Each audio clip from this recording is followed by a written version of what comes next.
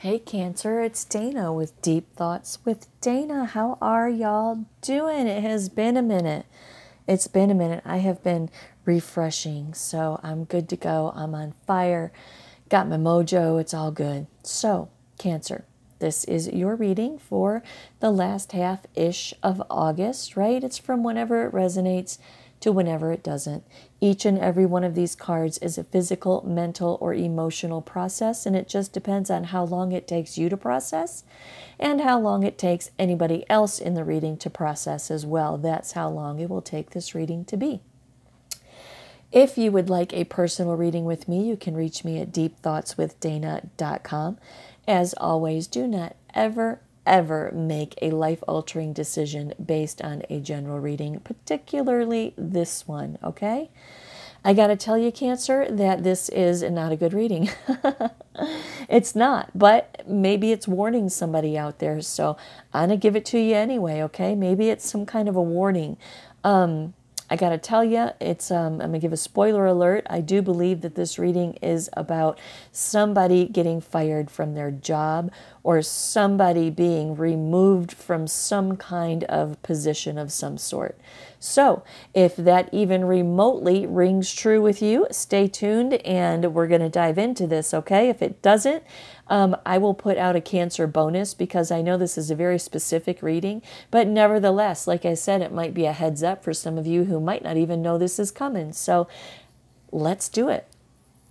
So you open this reading, Cancer, with the star card, right?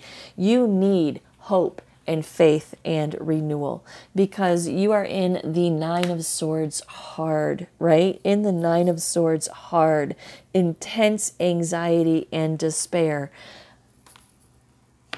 thinking about justice, okay? Thinking about justice, and that's going to make more sense as we go on. Judgment comes in and says that um, there's a decision that you have to make. There's some kind of or some kind of decision being made against you, right? The high priestess says that um, that it, it's kind of a it almost reminds me of court right? You have the high priestess to the devil the judgment card the justice card. It's almost like it's almost like heaven or hell type of stuff right? Um, and i don't quite understand what it is and, and neither do you in the moon card right? Neither do you. This is you doubting yourself big time in this moon card doubting yourself big time right some force more powerful than you with the devil card um, holds your fate in their hands. Okay? The fate that they hold in their hands is the Princess of Wands being, let's see, followed by the five picking up. Okay, so the Princess of Wands being um, pessimism, right? Uh, so it's just just like a, a negative, right? Because on the upside she's all enthusiastic, but I'm reading her on the other side because uh, you're not enthusiastic at all. You are um, extremely pessimistic. Five of Pentacles comes in and says that you are really worried, worried about your finances, worried about being left out in the cold somehow, some way the Hermit card comes in and says you're doing some soul searching and some introspection because there very well may be a regretful but necessary transition in your future. The Prince of Swords says that this is this is is is almost imminent, right? To the high priestess again second time high priestess right?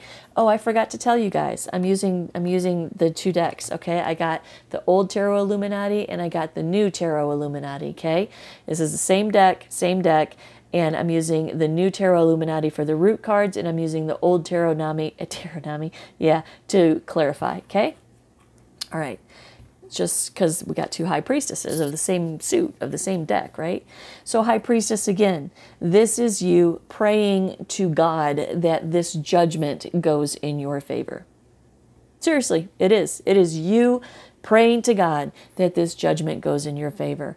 However, we have a king of swords that is um, maybe at the helm here. And this king of swords is in reverse. This is tyrannical abusive, maybe somebody has an, a, a misuse of power, impulsive, angry, or maybe you, Cancer, did I call you Scorpio earlier? I hope not. Cancer, Cancer. This is a reading for Cancer. These are the cards I pulled for Cancer.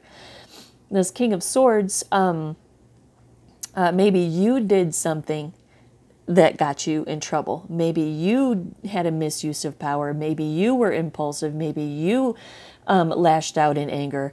But either way, this King of Swords right here, his behavior is leading towards somebody being left out in the cold, okay? Now, this King of Swords and this Five of Pentacles is clarified by the devil again, twice in this reading. Twice the High Priestess, twice the devil, okay?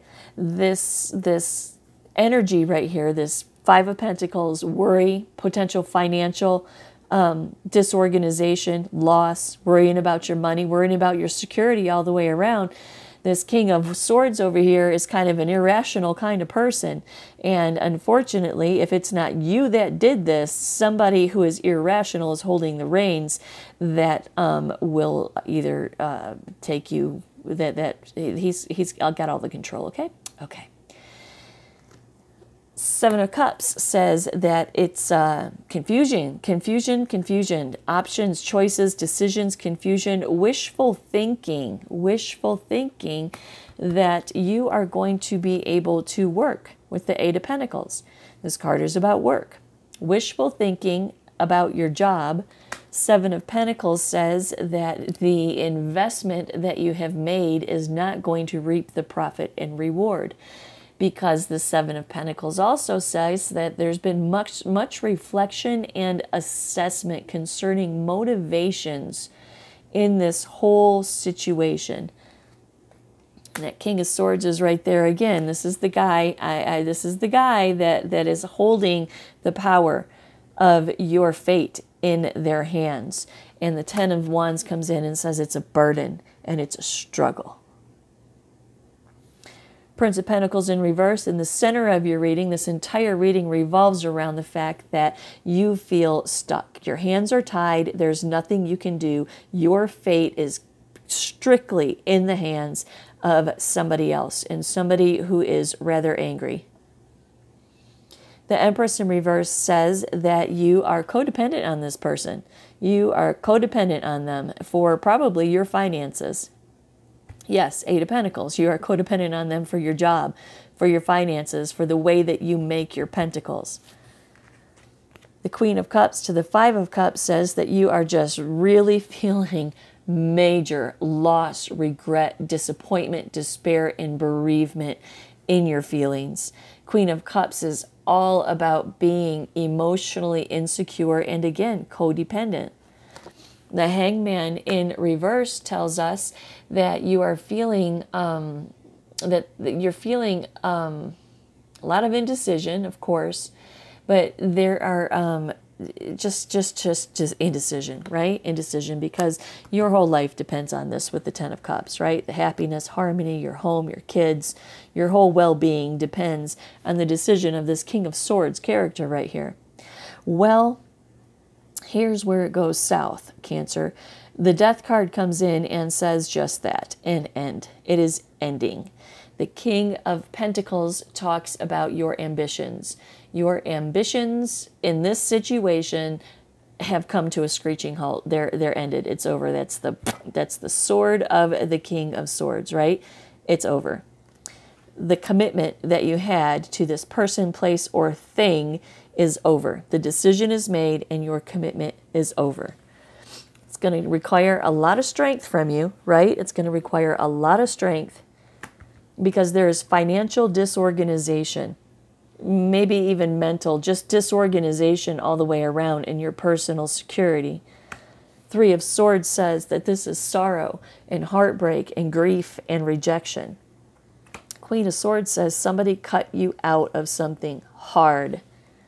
Ace of Cups says just overwhelming emotion, overwhelming emotion to the King of Cups. This is emotional uh, volatility, just emotional volatility. And you end this whole situation here. Um, um, with an ending to whatever it is that you were worried about right there. It ends, it's over, and you really have um, a hard minute there to deal with. So I apologize, um, Cancer. I really, really do. I apologize. Um, but this is what I got. So I don't know. Maybe it gives somebody a heads up. Maybe it relates to some of y'all out there. I don't know. Uh, drop me a comment. Let me know. I read them all, right? I read them all.